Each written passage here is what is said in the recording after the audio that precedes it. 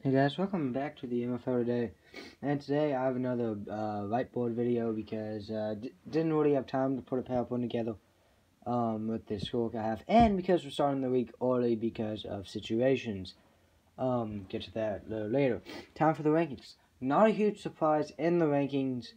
Um, basically the same as last week. Carson City 8, JT City 7, Summer City 6, Springfield 5, Everton 4, Newman 3, Oakwood and Crypton just switched spots. Uh, we didn't feel like Oakwood was worse than like Everton or Springfield. Um, but then for the games, um, yeah, so Mitchell is going out of town this weekend, so the Newman and Crypton hype game will be moved to Halloween afternoon at like 4 p.m. I thought about live streaming it, streaming it, but I don't think I am. I'm. I am, because that's typically just a creepable thing. Um, so Newman and Krypton, uh, Crypton is four and one overall against Newman, um, but these teams look like to be, uh, right now the early creepable favorites if it's not Krypton and Oakwood.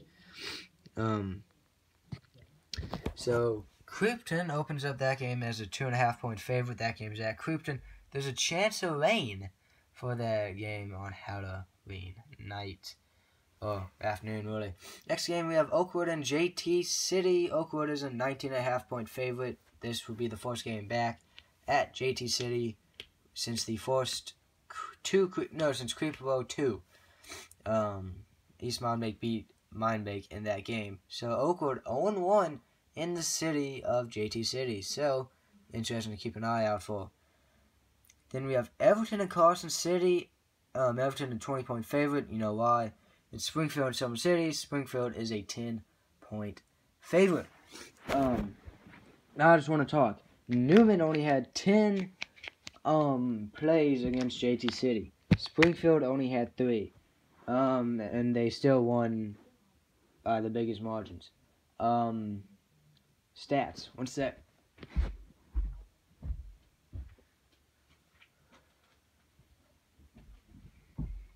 Uh, I forgot to get the uh, stat book um, over here to begin. Okay, so we have our first game was uh, Cooperton and Oakwood. C Cooperton won that game 29-24 um, in that game. Oakwood, um, Oakwood was one for one field goal wise. You know, I'm gonna show it to you guys. You probably won't be able to read it, but heck with it. Oakwood one for one field goals. Uh, they ran for 102 touchdowns, threw for 85 and one touchdown. Cooperton only ran for 66 yards and one touchdown. They did throw for 165 and three touchdowns. Uh, on to the next game, which was Carson City and Springfield. Springfield led the li Springfield had the most rushing yards for the week with 110 on only two carries, both of them touchdowns and they threw for 15 yards and a touchdown. Carson City 7 rushing yards, league worst in a game. That game was called at halftime. Springfield won 20 to nothing. That was a 0, not a 6. Um, and now Newman and JT City. Newman ran the ball for 70 yards and two touchdowns, but they did throw the ball for 110 and three touchdowns. JT City was 0 for 3 on uh, field goals. They ran for 103 and one touchdown. They did not complete a pass in the first MFL game. And then the last game of the week, Everton and Summer City. Everton 2 for 3, kicking field goals. They ran for 96 yards and 3 touchdowns, threw for only 16 yards.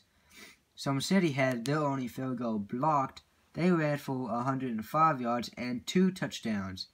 They only threw the ball for 15 yards and no touchdowns. So we have that. And then we have we have a big rule change here. You can only go for it on fourth down once in a game.